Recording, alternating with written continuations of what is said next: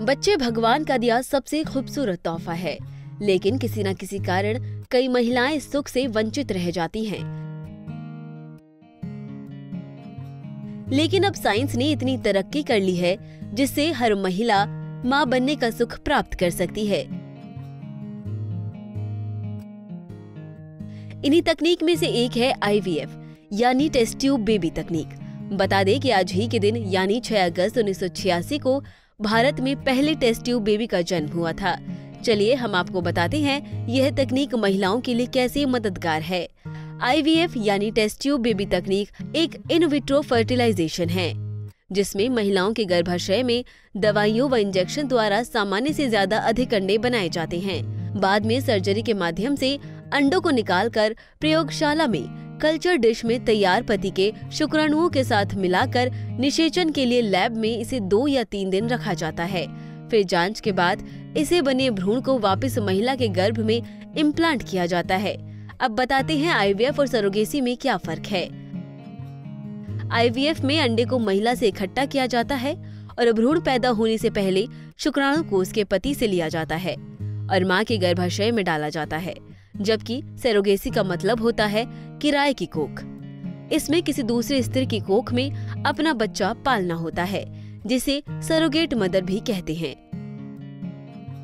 इसमें शुक्राणु पति से आ सकता है, वहीं अंडा किसी और द्वारा भी दान किया जा सकता है। आम लोगों की तरह बॉलीवुड और हॉलीवुड में ऐसे कई सेलेब्स हैं, जिन्होंने संतान के लिए सरोगेसी या आईवीएफ तकनीक अपनाई।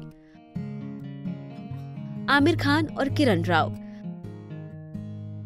आमिर खान और उनकी पत्नी किरण राव ने भी आईवीएफ का सहारा लिया था। इसी तकनीक से उनका बेटा आज़ाद पैदा हुआ।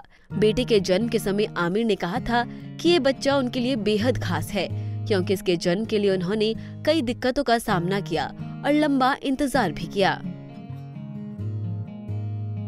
शाहरुख खान और गौरी खान। बॉलीवुड एक्टर शाहरुख खान का बेटा अबराम सरोगेसी के ज़रिए पैदा हुआ है। अबराम अक्सर पापा शाहरुख के साथ स्पॉट होता रहता है। शाहरुख के दो बच्चे, आर्यन और सुहाना भी हैं।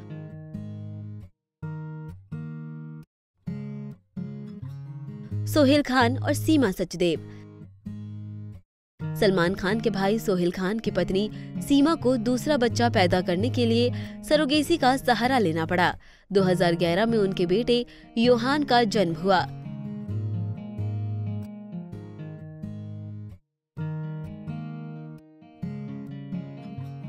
Celine Dion